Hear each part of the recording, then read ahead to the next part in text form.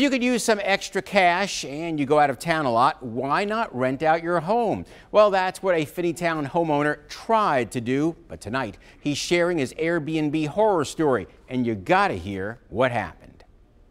Ron Coleman was hoping to make some extra money here in his Finneytown home, renting out his cute little Cape Cod on Airbnb when he's not here. It's comfortable and simple for guests but he wonders if it's worth it after two recent guests trashed the place, causing three grand in damage. The first, a couple who left their young kids alone when they went to a football game. So the kids basically ransacked the house.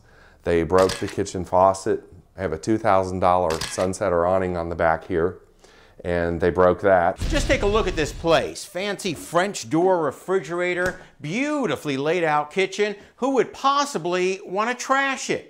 Well, turns out you'd be amazed. Two weeks later, he says another guest turned it into a party house. From what the neighbors tell me, they had about 30 people here. Next day, there was bottles, cans everywhere. Floors were sticky. There was stuff on the walls. It was horrible. Ron thought he'd be covered by Airbnb's million dollar guarantee for hosts, but he says his damage claims went nowhere. Are they reimbursing anything?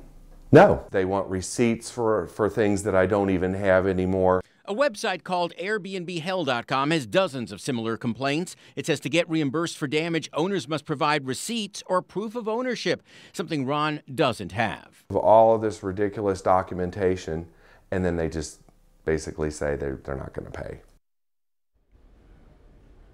And we contacted Airbnb, where a company spokesman told me they will re examine Ron's claims.